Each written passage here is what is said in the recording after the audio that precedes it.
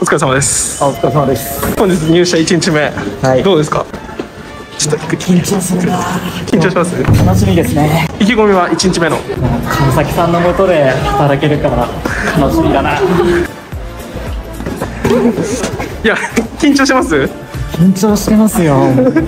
頑張ってきます。